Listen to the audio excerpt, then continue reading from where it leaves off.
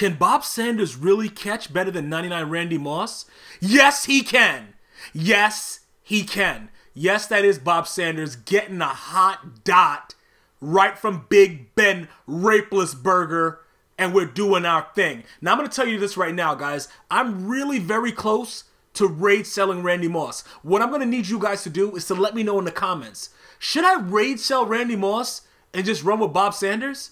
You know what I'm saying? Like, like, should I really do that? Why should I keep Randy Moss if Bob Sanders is better? Somebody gotta let me know. So let me just throw, let me see if he could if he could win on the streak too. Let me throw the streak right quick. Oh, he can beat him on the streak too. Okay, leave it in the comments. Is Randy Moss getting rage sold? Let me know right now. I'll see you guys and girls next time.